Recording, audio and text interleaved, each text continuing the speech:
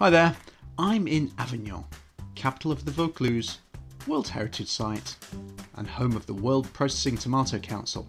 Hmm, Maybe we'll leave that for another time. Let's go and explore those World Heritage bits. Nearby Nîmes might be the most Roman city outside Italy, but back in the 14th century, this was the real deal. Seven successive popes set up shop here as it was conveniently close to the most powerful state in Western Europe, France. Incidentally, Avignon, like nearby Carpentras, didn't become part of France until the French Revolution. And if the Papal Palace seems more like a fortress than a nice country pad, it was with good reason, as we'll find out by visiting this sticky out bit here. But first, let's head for the high ground of the Cathedral Gardens to get some perspective and take in the atmosphere, which is turned up to 11 when the bells are in full toll.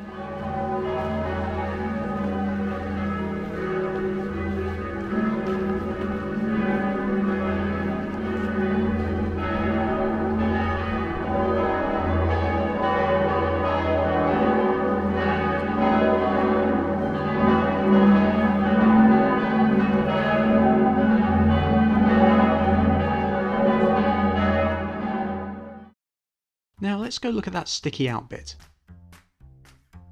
This is the Pont d'Avignon, or officially the Pont Saint Benezet, named after an illiterate shepherd who managed to persuade the bishop to build a bridge here after getting a vision from God. And it was a task so tricky that even the Romans hadn't attempted it. Unfortunately, Benezet died before his bridge was completed, but at least he didn't live to see its first demolition thanks to Louis VIII of France, who, with the Pope's blessing, gave up on crusading in the Middle East and concentrated on some local pillaging.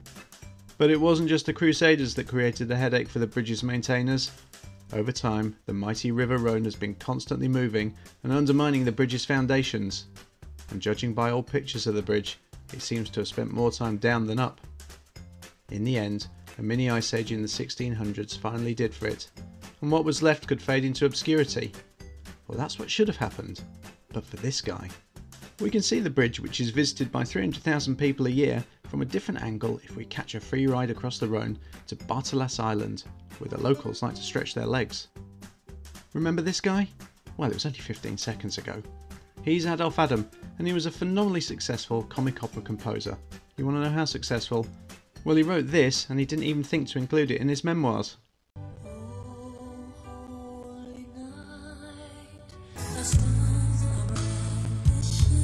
Anyway, Adolphe had hit on hard times after losing everything in the 1848 Paris uprising and was in need of a hit or two to get him out of the red. And while looking for inspiration, he stumbled across an old ditty that the kids around here used to sing. And it goes like this. oh, maybe not. But there's controversy over whether he got what they were singing right. Is it sur le pont or sous le pont? And the answer is probably neither, as kids around here back in the day spoke a dialect of Occitan rather than French. Perhaps we should go and grab something to eat from one of the cafes by the Hotel de Ville. Or perhaps not. Not until we've got madder and painted the town red. Or at least this guy has. We saw him in the Cathedral Gardens. And here is where the mad red action happened. This is the Rue de Teinturier. Hmm, sounds better than Dyer Street, doesn't it? And it was a hive of activity for producing textiles. But there was one colour which was in demand which was tricky to produce. Red. Or more specifically, madder red, which is the product of the madder plant. Jean Althen, born Hovannes Altunian, yep, nailed that pronunciation, was born in modern day Iran and had a pretty tricky start to life. What with war and the death of his parents, he ended up being sold into slavery, but he learned the art of dyeing cloth while in captivity. He managed to escape to France, bringing madder seeds with him, an act punishable by death, and as a result, Avignon ended up with a prosperous trade in dyeing things red, which caught on to such an extent even the soldiers' trousers ended up mad red. Meanwhile, Jean ended up dying penniless. I'm sure there's a moral there somewhere. Anyway, this street is also the home of the Pénitent Gris, which was set up by Louis VIII, you know, the crusading guy, to make up for the things he and his buddies did while on tour. I'm sure there's a moral in there as well. But let's leave all that behind and have a wander around the rest of the town, where we can find some typical French things, like this red double-decker bus. Hang on a minute. It turns out Avignon's a good place to learn English and has a festival every year with music, theatre, cinema and books. So if you know anyone who wants to improve their English, like what I do, then sometime here might do the trick. let's have a final look around. Pick up a souvenir or two, maybe from this place that specialises in eco responsible products, before catching the train to.